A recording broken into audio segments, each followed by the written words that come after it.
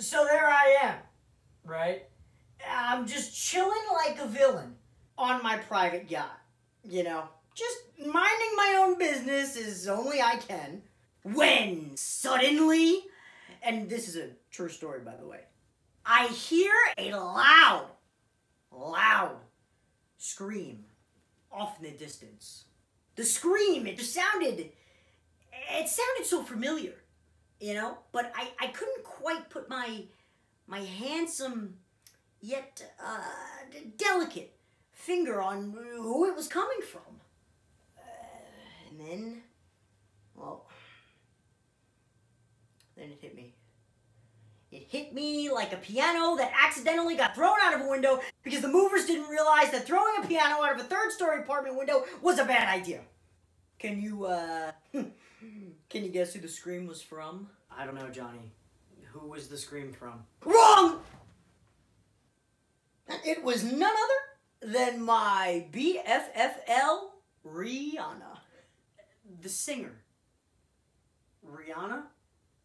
She was on your yacht. Oh, so you know her. Yeah, I, I know who she is. One second, she's asking me if I know her name.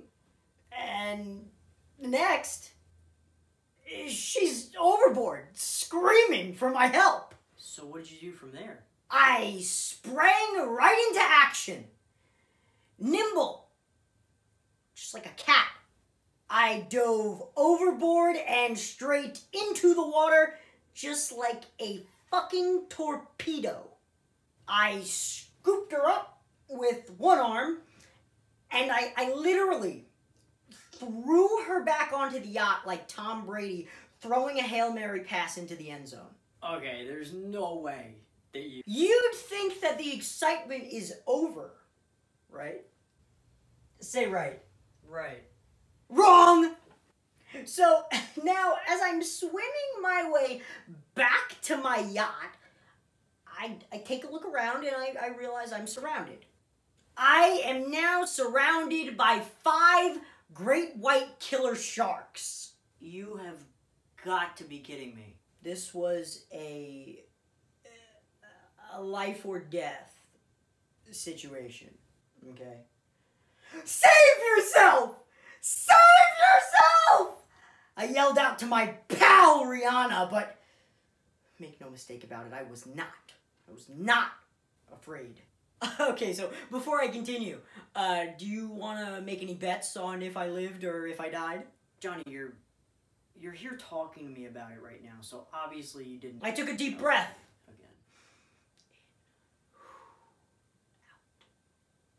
and I went Bruce Lee on every single one of their great white asses.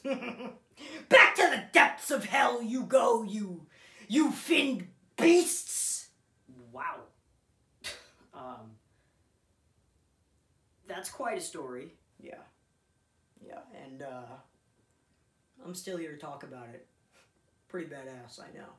Right. Yeah. So, uh, what happened to your shoulder? Oh, my uh, my shoulder? Yeah. Your shoulder. I just dislocated it. You know, trying to change a light bulb.